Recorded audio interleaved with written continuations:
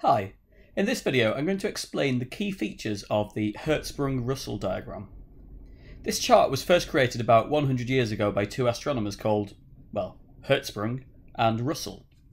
The y-axis is a logarithmic scale of luminosity where the power output of our sun is defined as a luminosity of L equals 1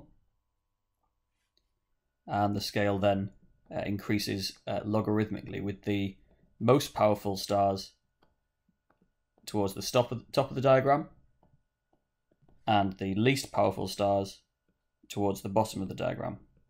The x-axis describes the temperature of the star, but the axis is reversed with the hottest stars here about 30,000 Kelvin towards the left and the cooler stars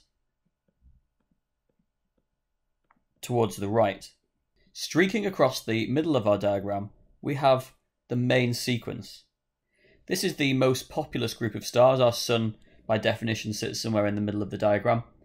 Uh, all stars in the main sequence are stable and undergoing nuclear fusion to turn hydrogen into helium. These are middle-aged stars. Towards the right of the diagram, we have the red giants.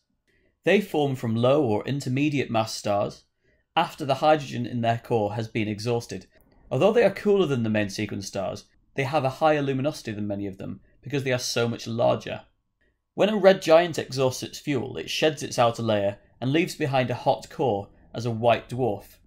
The white dwarfs appear in the bottom left of the Hertzsprung-Russell diagram because despite their high temperature, their small size means they have a low luminosity. Red supergiants are found above the red giants. They are relatively cool, but are quite enormous.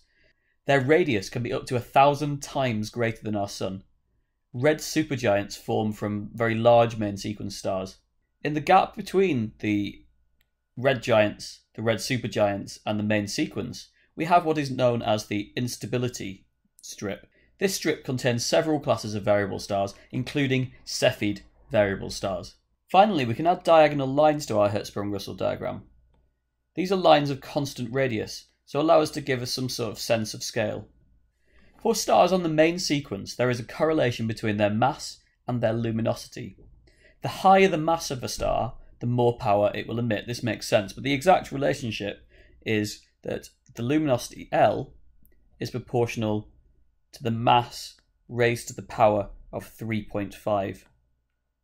For example, if star B is uh, twice the mass of star A, how many times bigger will its luminosity be? Well, its luminosity will be 11.3 times the luminosity of star A. Thank you for watching this video from Cowen Physics. If you found it useful, please like, subscribe, and visit cowenphysics.com.